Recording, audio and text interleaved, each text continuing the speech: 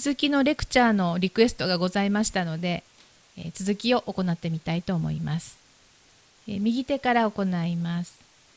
ラの場所に1の指を持ってきてこのポジションのまま弾くとミスが少なく弾きやすいと思います。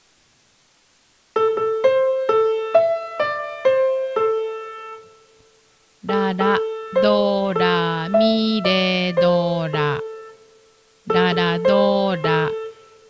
次にこのラを高い方のラここに移動します。その時はこう右に移動して5の指でこのラを取ります。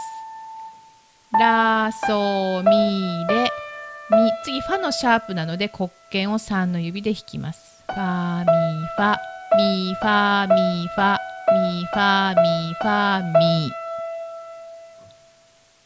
では左手いきます。左手もこのラのところに1の指を持っていきます。真ん中のドからドシラここの場所ですね。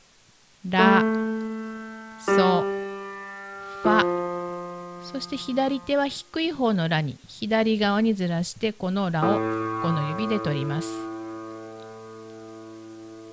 では両手で合わせてみます。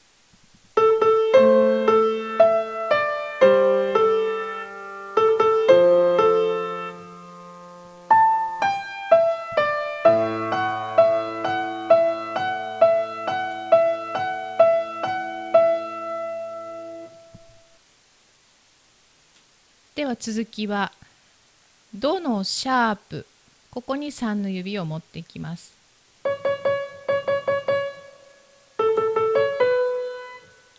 これをもう一度繰り返します。で左手はですねファのシャープとミ。これを繰り返します。ファのシャープミ。合わせます。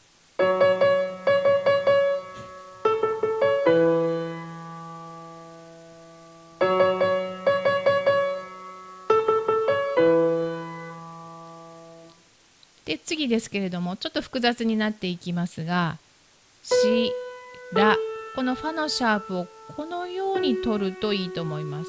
らしとシャープ。らららみとシャープ。とシャープが続きます。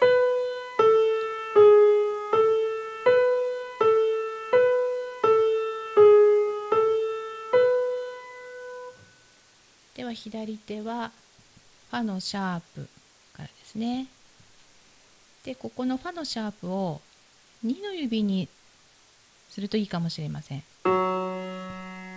で半音階で下がります。ファのシャープが取れてミレのシャープ。で次はシですね。シとシャープレミような動きになります。合わせます。